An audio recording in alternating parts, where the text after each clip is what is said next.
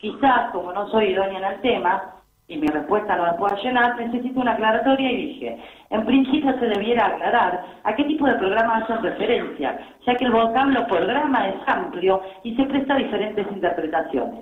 A modo ilustrativo, informo que de consultar por un programa de apoyo al comerciante se debiera evacuar por medio del Departamento Ejecutivo. Y de tratarse de un programa, de, un caso de programa informático, se debiera consultar a la Dirección de Gobierno Abierto. Sin más, los saludo atentamente. Gracias por los piropos, Tanga.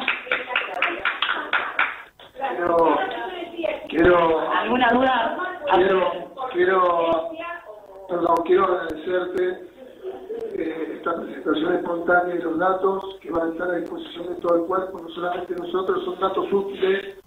Quiero agradecerte tu buena predisposición y esta cuestión espontánea y aclararte, por supuesto, que esto no tiene absolutamente nada que ver con una mala intención ni con ninguna propaganda pública, sino con tener herramientas para generar un diagnóstico para ayudar, en este caso, acaba de algo que vamos a trabajarlo para ayudarte y claro que el municipio de Pinamar necesita ampliar la tipificación con algunas cuestiones reales que se están dando de uso y costumbre en nuestra comunidad, de gente de trabajo que produce productos de manera artesanal, en zonas que es artesanal, que hay un BRIC que no tiene habilitación, y estamos trabajando eso, para trabajar eso necesitamos tener datos, porque no es solamente un negocio, es el 30% de los negocios que no están habilitados en toda nuestra comunidad, y por eso pedimos eso, quiero que, tengan claro esto, y muy agradecido de esta presentación. No, bueno, eh, eh, Gregorio Estanga agradece un informe que es totalmente extemporáneo.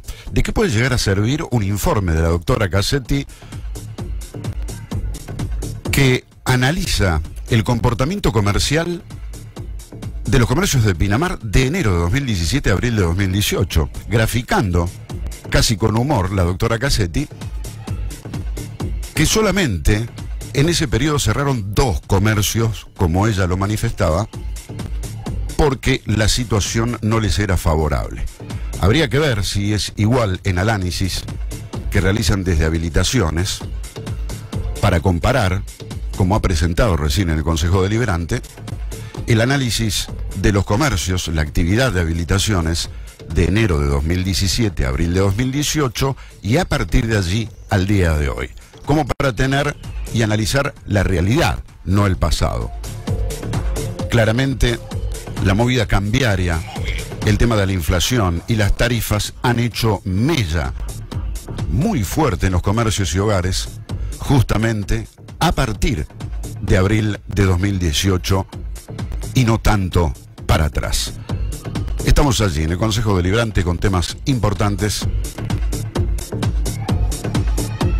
Debieran requerir los concejales, Gregorio Estanga y demás, que agradecen a Cassetti, un informe renovado y contemporáneo de la situación comercial de Pinamar, ¿no? Y no lo que ocurrió hace ya más de un año atrás. Power. Móvil Power. Power. En vivo. Nuestro móvil viaja seguro con Sancor Seguros. Power. Power. Power. Se siente.